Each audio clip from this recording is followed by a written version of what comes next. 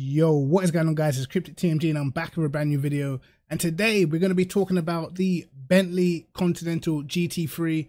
Um, using the custom BOP, I was pretty sure I was going to use this for the upcoming AOR season. I did decide to change my mind at the last minute, but still I'm going to run through some of the things you need to do in the setup to really get the Bentley to work because it is still quite a tricky car to drive, man. And it's a shame I did make this custom livery, but I just felt like there were too many aspects of the Bentley that I thought over a season would probably annoy me more than anything. And um, I was pretty sure as well that whenever it did come to sort of wet races or interchangeable weather races, that I, I personally think the Bentley's going to struggle um, in those conditions. But let's get stuck into the video and see what I did to get a pretty strong time in the AOR Hot Stint Challenge um, with the Bentley. So if we quickly go through the hot stints, you can see you scroll down to me, I'm right here in 24th position.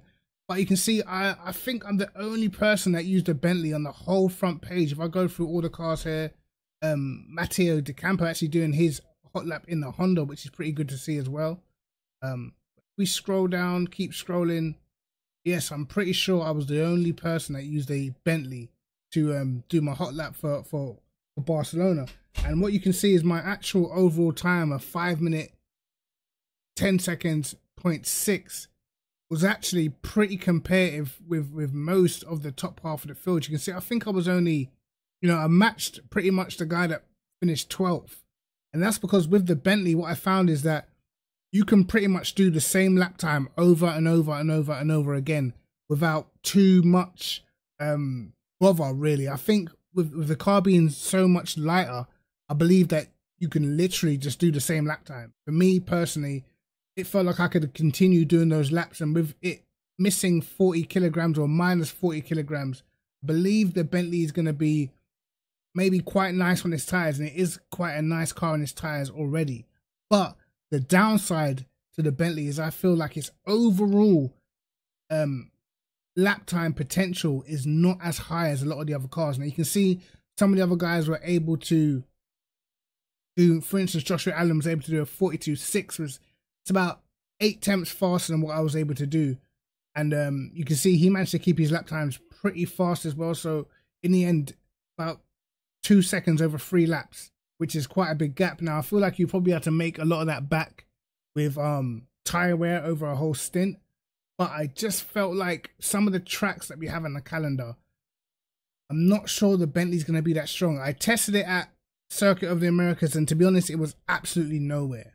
And um, yeah, around Circuit of the Americas, it's a long lap as well. And even though, you know, you could say tire wear should bring it back, I think people are going to be able to survive for half an hour before they have to change their tires. So for me, it was definitely a struggle. I got in the Aston and I was way faster instantly. And I just thought, even if you have good tire wear, starting further back in the, in the grid all the time, you're definitely going to struggle. Which again is the downside for the Bentley looking at some of the tracks, I think the Bentley will be good at Kyalami. It may end up being good at Monza as well because it's a lot lighter, so it's probably going to be pretty fast down the straights. But for me, tracks like Misano, you know, where you need a lot of traction and stuff, and we're going to get stuck into the traction of the Bentley and what I feel like you need to do to actually get it to work.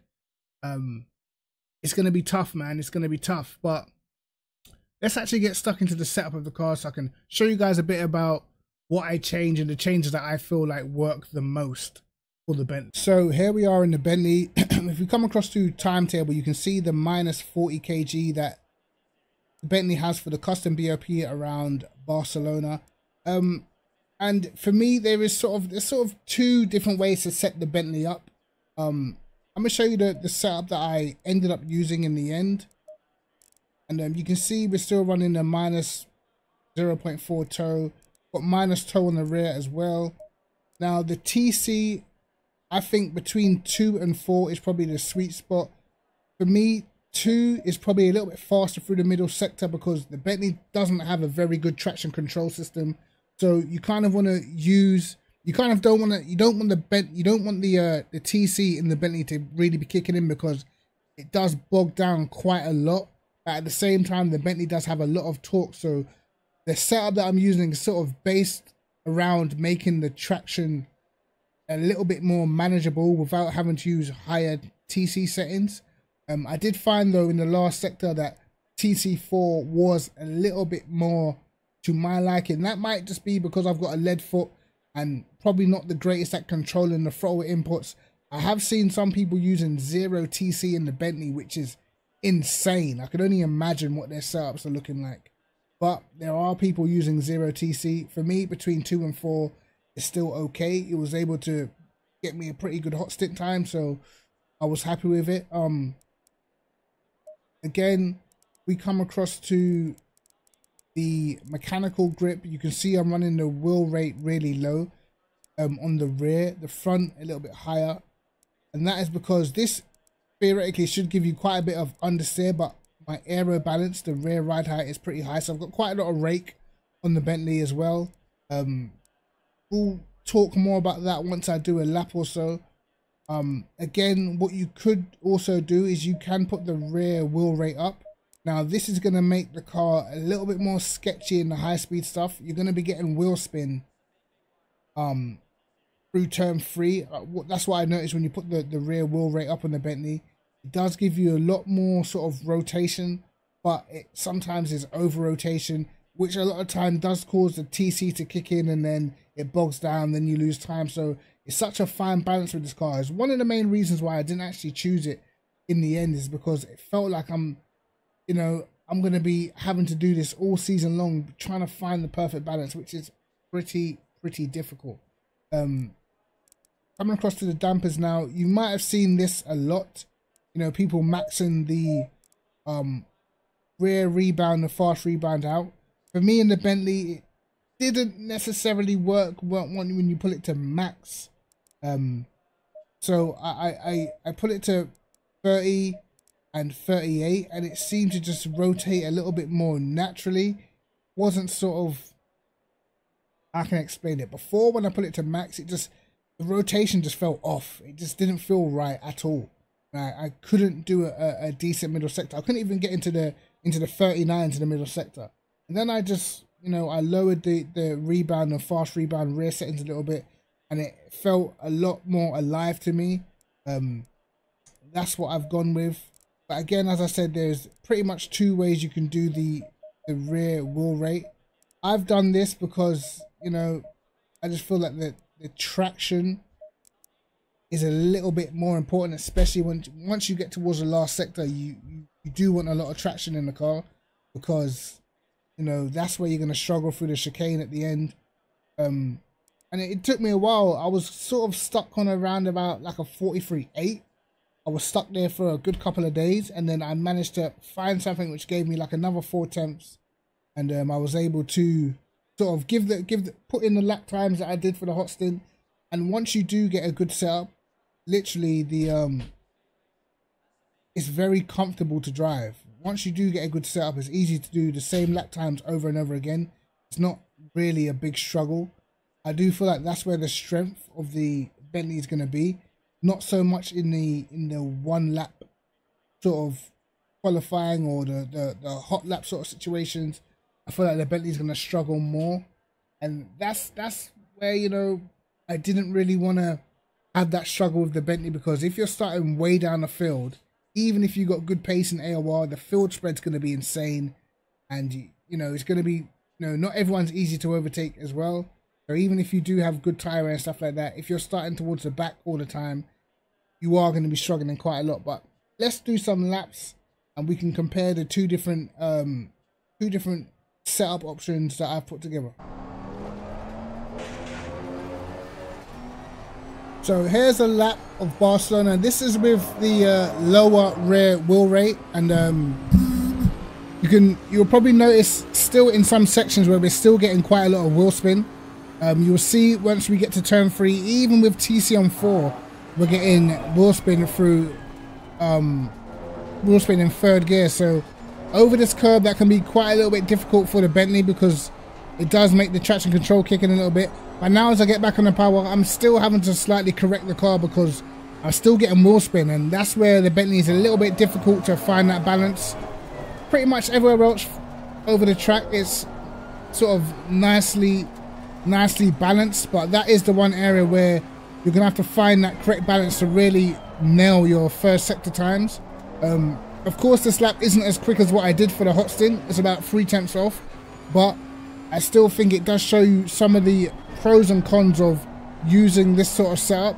You can see a little bit of understeer through the faster corners and even through here as well. Probably not able to get on the power as, as quick as I would want. I'm really running out wide because, you know, the front end isn't turning in as much. But then when you get to the slower corners, it does feel a little bit more stable. And you can get on the throttle out of the slow corners without too much bother. And that's where I feel like, you know, using the lower rear wheel rate does sort of help you for the last sector because the balance is always feels like it's there. You can kind of push into the corners a little bit more. And um, as I said, for me, getting the last sector right is pretty important. Um, you can sort of fluke a middle sector and get a, get a fast middle sector um, with this setup, but it's going to be harder for the majority of the time trying to nail that um, that middle sector. So you can see we did a 43.7. Now I'm going to switch up to the the other setup that I tried and see the pros and cons also of that that way of setting up the car. So if we come across this setup, now I'm going to make some of the other changes. So I'm actually going to put the front a little bit softer. I'm going to put that down a little bit. And um, I'm going to go stiffer on the rear wheel rate. Which is pretty much, this is the two, sort of the two things that I had been trying. They were both successful in their own right, but one made me feel more comfortable than the other. We're going to put the preload down.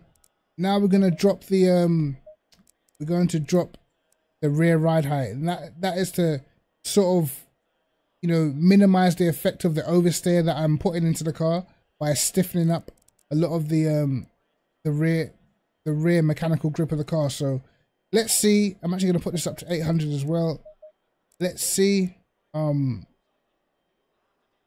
what lap time we can achieve. Now going for another lap again, um, with this setup, I can definitely feel the wheel spin. It's a little bit more, um, a little bit more difficult to control, but it does sort of have the rotation that you actually want. Um, I feel like definitely through, through the first corner, it feels a little bit better, but the amount of wheel spin you get through turn three, I kind of feel like it sort of negates turn one and turn two because you can always feel the car slipping away. You kind of got a counter steer through the corner, and that's what I think loses you a tad bit of time. Um, again, through this corner, the nose is what it is. I think the nose is a little bit nicer. The rear end is a little bit harder to control, so you sort of got to find that balance what I was saying before. Um, corners like this, I feel like the traction on the other setup is a little bit better. Again, through this next corner as well, the traction could be better. You kind of have to feather the throttle a little bit more. You can see, I think I, I upshift slightly earlier um, through that corner, but this corner is way nicer on the setup. Way nicer. I can get on the accelerator earlier, and it doesn't feel like the car is about to understeer. It feels under control. The last sector, however, you can sort of nail it the same, but it does feel slightly more difficult. The back end does tend to slide a little bit more, but you can use that sometimes to rotate the car around a little bit. If you can, you know, sort of gather it all up on the throttle. But for the most part, um, it really is these these last two, last three corners where you can lose a lot of time, man. You see I run out slightly wide, but still allows me to carry the speed through.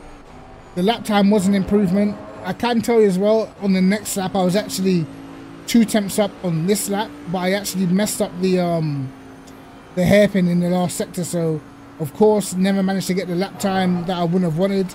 I think I, I actually ended up I ended up with another 0.6, I believe, on the final lap where I completely and utterly just messed up the last sector. As you can see, I did a almost, almost, you know, tenth and three quarters slower. So the last lap was probably going to be a 0.5, I would imagine, um, which was pretty close to the lap time I did for the hot stint. Um, as I said, man, it's definitely a car that you have to work on. It's not that easy to to get the lap time, and that's what why I sort of steered away from using the Bentley because of how difficult it is or how difficult it can be to actually produce a lap time when you've only got a short qualifying session. You've got 40 cars on track. I can only imagine what it's going to be like in AOR. I didn't want to put myself in that position to be starting, you know, close to the back all the time and then, you know, having bad qualifying sessions and having to try and make it up in the race with the Bentley probably having, you know, superior tire advantage and maybe superior race pace. We don't know that yet, but um, yeah, it just it just would have been a mess. But as I said, guys, those are the ways you can sort of, for me, the ways that I was able to get the best feeling out of the Bentley. Some people might have a totally different setup or for for the cars, but for me, that sort of was, you know, how I could get the the best feeling out of the car. I did try as well. I tried nine wing, which I feel like can also work. If you were to go on nine wing, I'd probably say maybe lower this down. Um, also go down on the rear wheel rate. Lower that. Maybe go down on the rear ride height.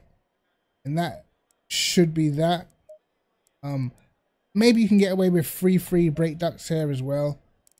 Um, and again, that may be a solution. Um, but as I said, guys, man, it's it's a tricky car. It's definitely going to be fast. I'm not sure how many people are going to use it in the season because they probably fear the same things that I do. It'll be interesting though. If we do see some Bentleys in the field, it will be interesting to see how they get get along. I do think they're going to be super fast down the straights just because it just weighs so much less.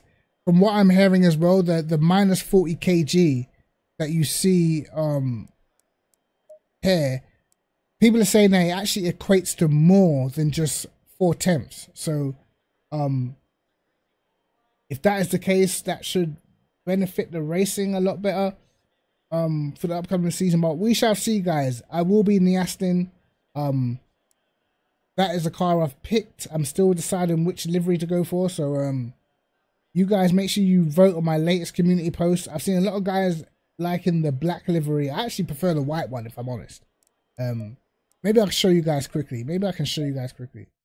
Um, I do prefer the white one for whatever reason. Maybe I can. Maybe I'll upload both and sort of have a, a special occasion livery, right? So we've got that one, which is the one that I do prefer. It actually took me a while to make this.